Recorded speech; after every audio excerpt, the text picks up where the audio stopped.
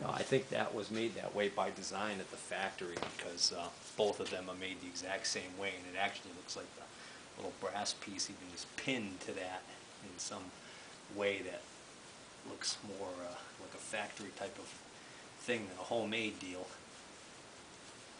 So, so next question is, how does this come off? I mean, the reality is, the way that ended up coming off, I didn't have to even loosen this screw. I could have left this just the way it is, because now with, with that off, I can take this big bracket off, I think. No, I can't. What can I? Yeah, it's kind of hard to get to. You gotta take this big bracket off to take this chain off. I just left the chain hanging like that. I just left the chain hanging like that, do I really need to take any of this off to remove the headstock? Doesn't look it. Doesn't look like I would have to.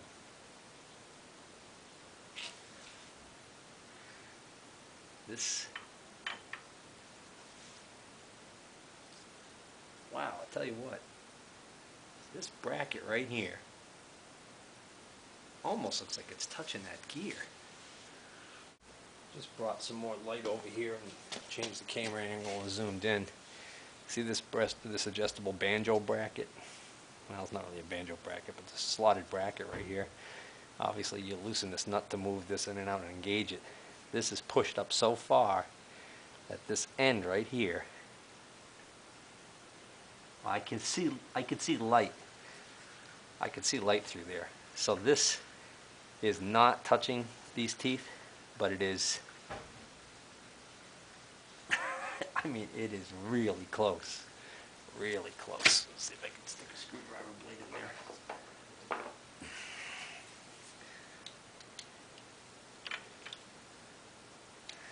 That, that, that is close.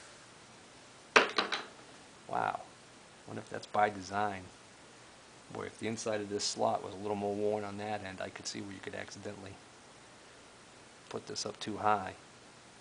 Of course, the limiting factor is that this going up makes this gear mesh with nothing, makes this gear mesh with this gear. So the reality is that yeah, I mean, you really can't move that up any further, but I'll- you could probably get close enough that that might rub on that. I wonder if that's got any signs that it's ever been rubbing, rubbing. Uh, That looks pretty good. It's close though, real close. All right, so if I lifted the headstock straight up, theoretically, this shaft with its gears would just lift right up, as would this whole assembly right here.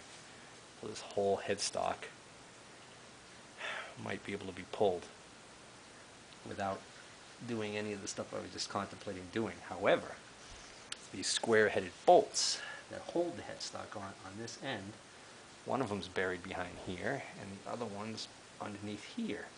If they were regular bolts, I could probably get a socket wrench on an extension and stick it up there, but I don't know if I've got a multi-point socket that's gonna fit up there. And that being said, look at the grease and grime on this. This needs to go in the parts washer really, so I might as well just uh, do it. Pull this off.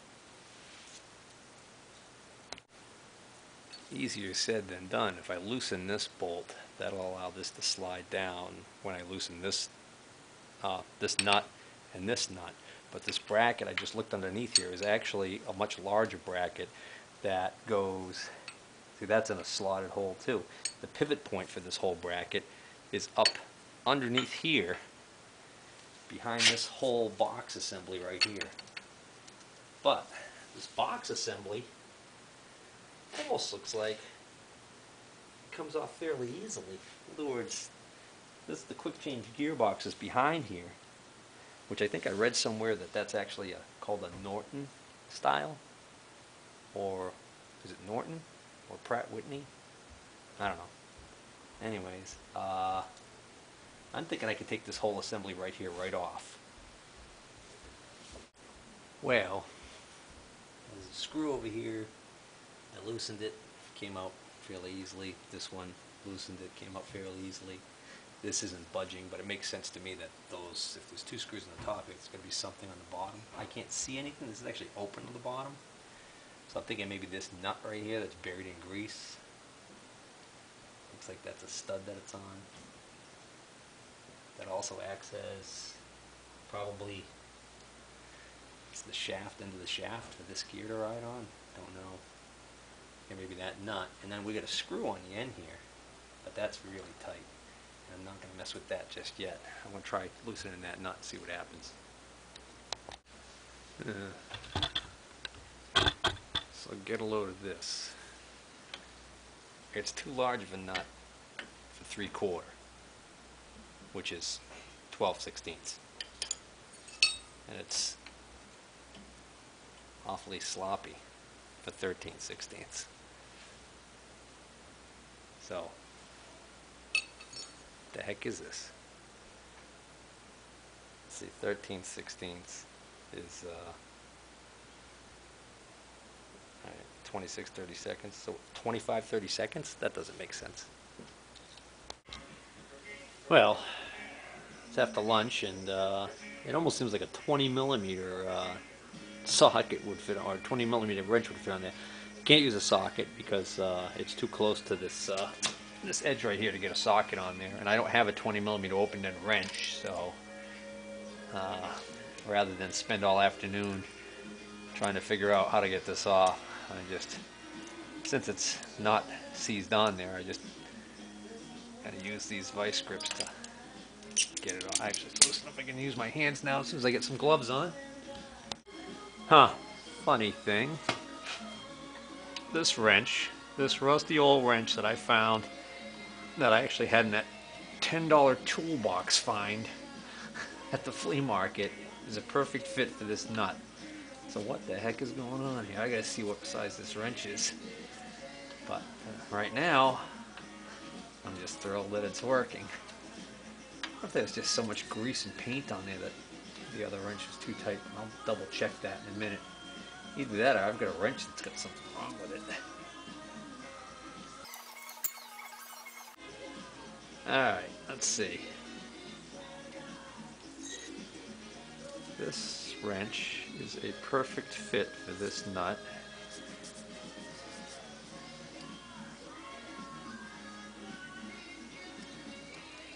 It is. 28, 30 seconds. Alright, is that what it is?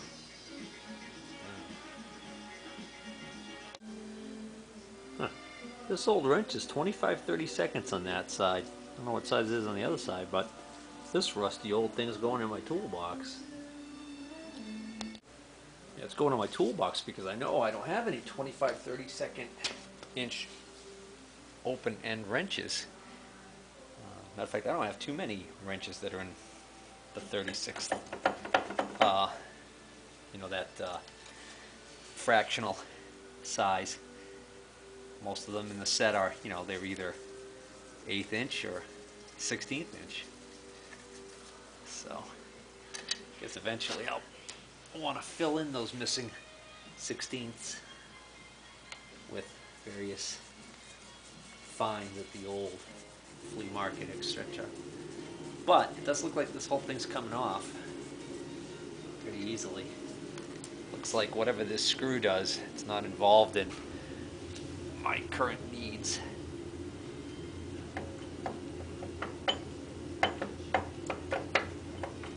Spoke too soon?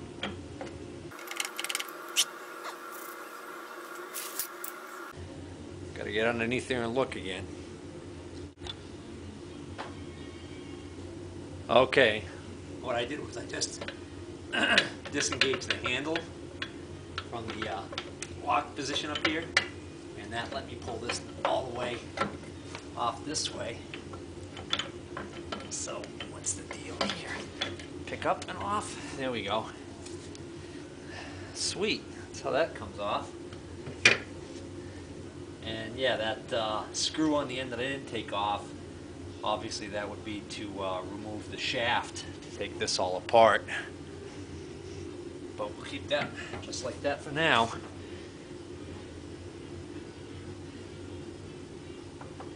And that gear is not gonna just slip off. Something else going on that holds that on.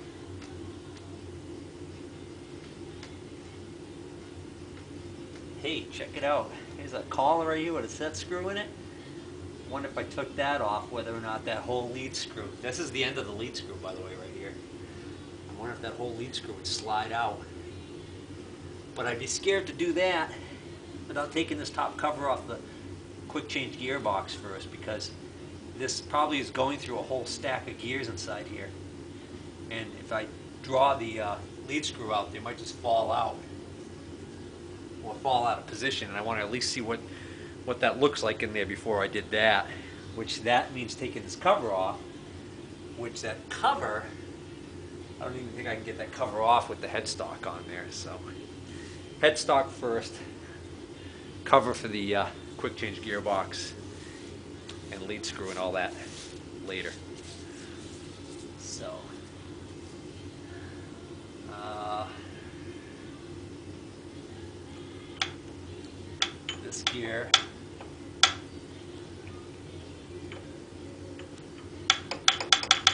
This gear looks like it would slide right off if this gear wasn't on here. What's holding this gear on, I wonder?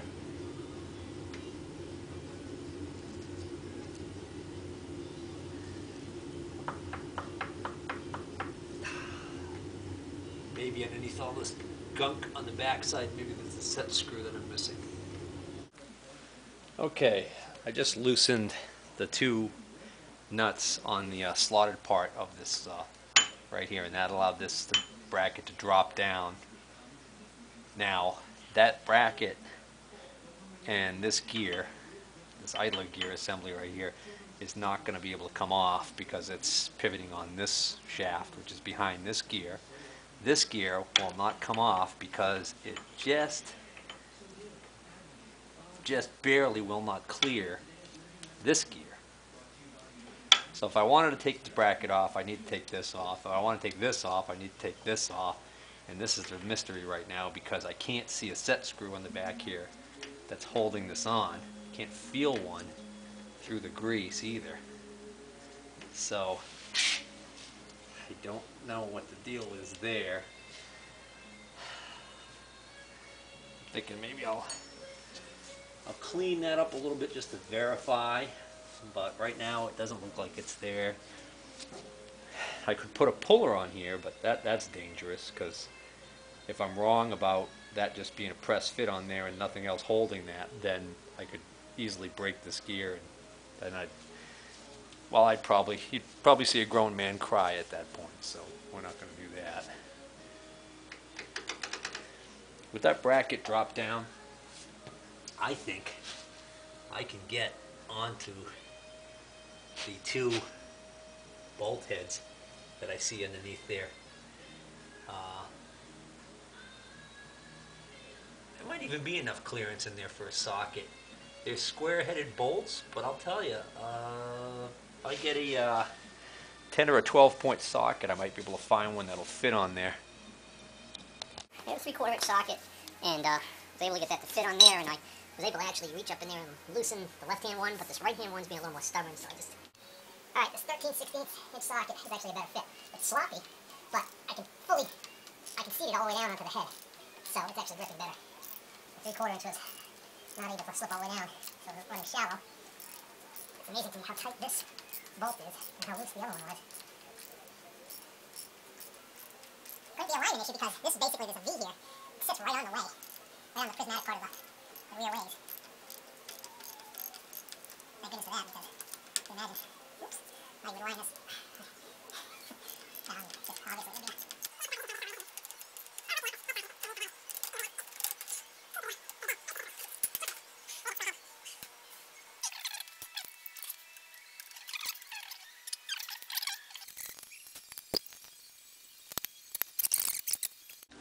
All right, now over here on the spindle side of the headstock, there are two more square bolts here and here.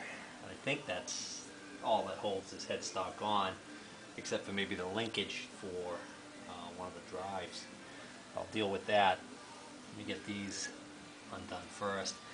Now normally I could put a long extension on and reach up from the bottom if the bed was still on the legs, but because I've already got the bed off of the legs and it's sitting on this uh, roll around, I really can't do that. So hopefully I'll be able to just get in here with a uh, maybe a flex head ratchet. All right, I uh, just remembered that I only had I think one flex head ratchet and it was a cheap piece of junk and it broke. I think. Anyways, it's been a long time since I used it. Can't find it. I think I remember breaking and never replacing it. Wasn't a good quality one anyways. So I just got in there with the breaker bar and was able to loosen that, get it started, and I think I can just get in there and take one million short strokes with the ratchet to get this one out. That's this side. The other side remains to be seen.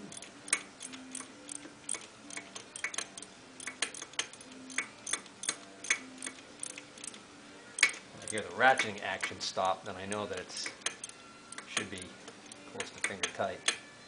And that seems like right there.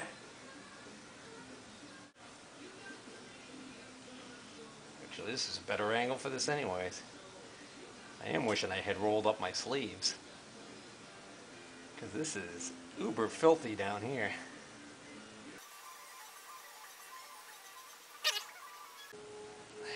That's a long bolt. Look at the threads on that thing.